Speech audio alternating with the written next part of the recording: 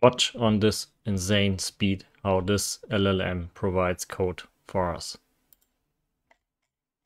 It's just insane. It built a whole website within seconds.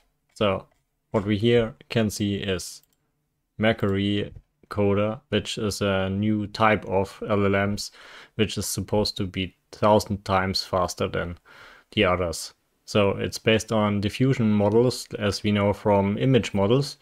And yeah, if you want a detailed explanation what this is, I would recommend going to uh, this channel from Matthew. He explains it in 12 minutes, everything in detail.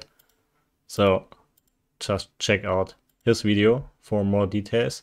And I just wanted to show it how insane this is and I can't wait until we get an API for this because at the moment it's just here in the browser.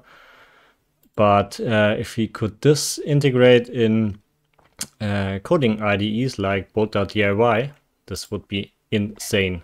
So let's test out a different prompt or something where we can see it. Let's just do the example prompt here, implement the game Snake and press start and see how it fa fast it is. It's done.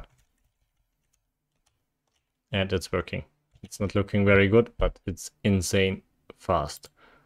So it implemented the whole game within seconds. Let's try something else. Build a to to app for multiple users in a futuristic design. And here we go. So this was so fast.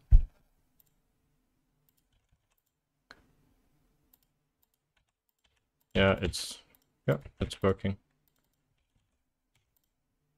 Ah, I can here log in for different users. Oh yeah. And if we go back to test, let's see.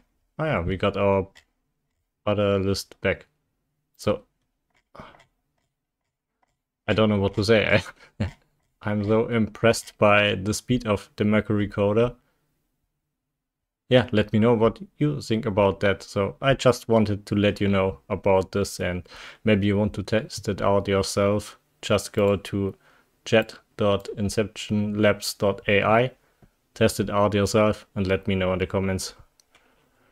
I hope, as I said, we get the API soon. Uh, if I saw correctly, if you sign up, you have the chance to get an API key early, so in the early access. So yeah, hopefully this happens soon. And we can try it out with Bolt.diy and other coding IDEs. Okay, that's it for the short video. Let me know what you think and see you in the next one.